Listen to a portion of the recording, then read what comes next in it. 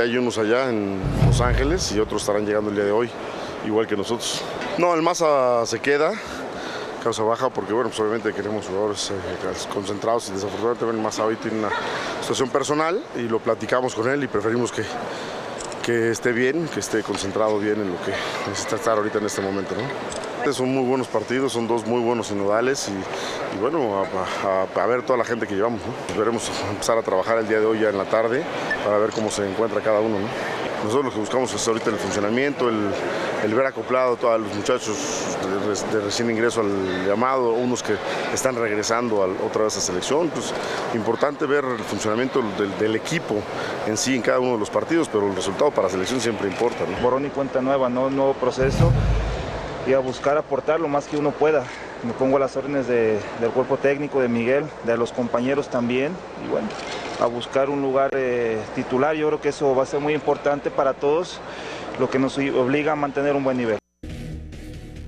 Bueno, eh, la selección nacional, mañana ya estaremos eh, a la cobertura, en la cobertura que iniciamos por octavo, noveno año consecutivo. Fuimos los primeros a hacer pre-games, post-games y la cobertura absoluta de la selección nacional mexicana. Ahora ya hay como 352.420 medios pero ninguno de esos 300, 400 mil, 924 medios siguen haciendo lo que hacemos nosotros, ¿no? El sábado, Digo, no es presunción, pero... El pues sábado, que... una, una, hora antes del partido y al terminar el partido de eh, la selección mexicana. No es presunción, el, pero sí lo es, postgame. ¿no? Sí. Y también pues, hay que cacarear el huevo. Lo que pasa es que pues, cuando te copia después dices, no, esta gran idea que hizo ESPN.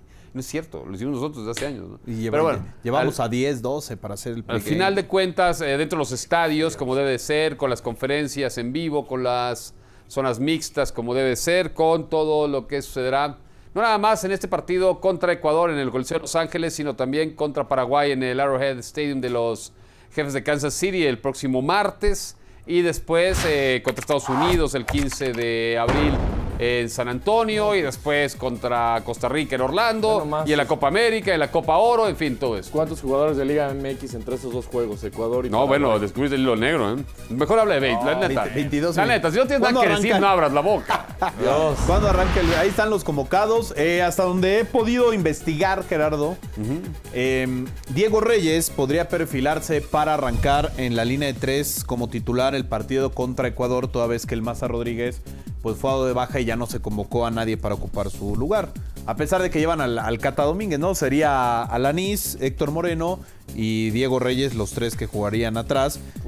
Y, y, lo que se prevé que es el partido contra Ecuador, los que van a jugar en la Copa Oro y el que sigue, pues los que irán a la Copa América, ¿no? Así no Para habría tanto... Entonces, ¿jugaría con quién? Yo creo que el primer partido no, contra ¿Crees o sabes? Ecuador podría ser Memo Ochoa en la portería. Okay. Los europeos. Paul Aguilar, Héctor Moreno, Diego Reyes y Osvaldo Alanís. Miguel Ayun, El Gallo Vázquez, Andrés Guardado, Héctor Herrera, Javier Hernández y Jonathan Dos y Giovanni Dos Santos, perdón. O sea, la titular. La titular. Y contra que tampoco fue Oribe Peralta este y contra, viaje, O sea, ¿no? Ecuador es bastante mejor nivel que Paraguay. Sí, ¿no?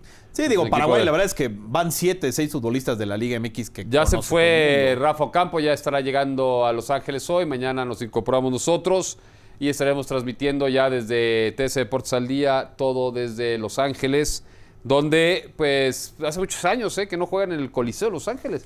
Generalmente juegan en el Stop Hub Center, o juegan en el Galaxy de Los Ángeles, o juegan en Pasadena, ahora regresan a este vetusto estadio que se está cayendo a pedazos. Sí, histórico, pero, Pero, ya muy... pero ya, que le cabe muchísima no, gente, sí, ¿no?